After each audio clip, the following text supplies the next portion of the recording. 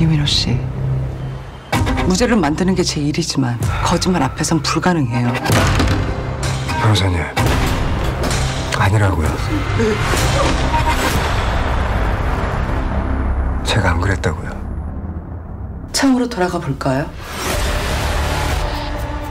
출입 가능한 모든 것을 확인해 봤는데 아무 흔적이 없었고요. 방에서 그 사람을 분명히 봤어요. 이문호 씨 진술은 창의력이 없어요. 이보다 확실한 게 어딨어요? 제가 본 이 사건은 말이죠. 여기 다른 사람 있다고!